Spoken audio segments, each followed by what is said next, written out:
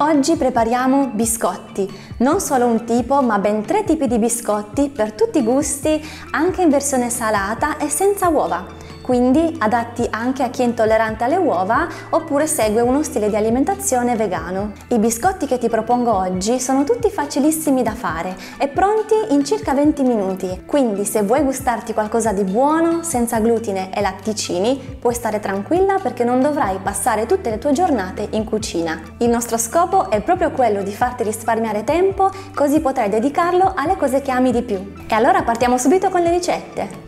Per la prima ricetta ho deciso di preparare dei biscotti a base di fiocchi di quinoa, banana e uvetta. In una ciotola ho unito 130 g di fiocchi di quinoa, 50 g di farina di quinoa, 30 g di semi di chia, 50 g di semi di zucca, 100 g di uvetta, 5 g di bicarbonato e ho mescolato il tutto. Per questi biscotti puoi anche utilizzare farina e fiocchi di grano saraceno. In un piatto ho unito 200 g di banane ben mature, 30 ml di latte di mandorle e 80 g di burro di mandorle. Ho mescolato bene il tutto fino ad ottenere un composto cremoso. Dopodiché l'ho unito al resto degli ingredienti e ho mescolato il tutto.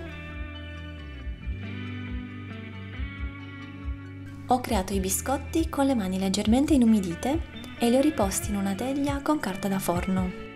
Con queste dosi ho ottenuto 14 biscotti, se li farai più piccoli ne otterrai di più.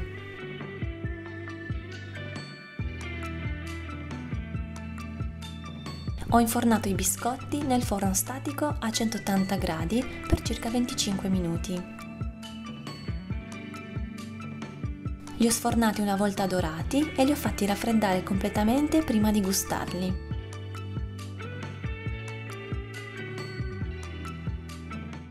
Per la seconda ricetta non potevano mancare i biscotti al cioccolato, veramente golosi se anche voi amate il cioccolato.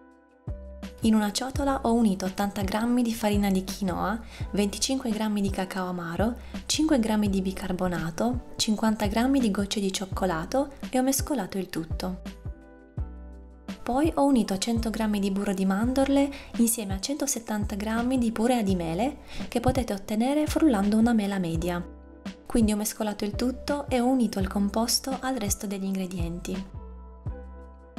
Infine ho aggiunto anche 40 g di zucchero, che però si può tranquillamente omettere. Ho creato i biscotti sempre con le mani inumidite e li ho distribuiti in una teglia con carta da forno. Con queste dosi ho ottenuto 10 biscotti.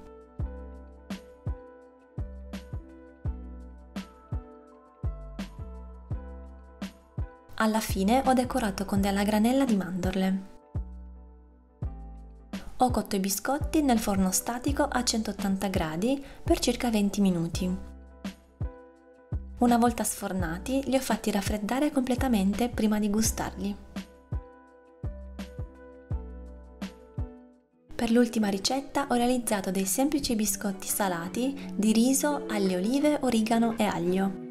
In una ciotola ho unito 150 g di farina di riso, 5 g di bicarbonato, un cucchiaio di origano, un pizzico di sale, 40 g di olive verdi, un cucchiaino di aglio in polvere e ho mescolato il tutto. Poi ho aggiunto 35 ml di olio vegetale a piacere, 95 ml di latte di mandorle non zuccherato e ho mescolato il tutto fino ad ottenere un panetto molto morbido. Ho creato i biscotti con le mani nuovamente inumidite e li ho disposti su una teglia con carta da forno. Con queste dosi ho ottenuto circa 11 biscotti. Ho cotto i biscotti nel forno statico a 180 gradi per 20-25 minuti.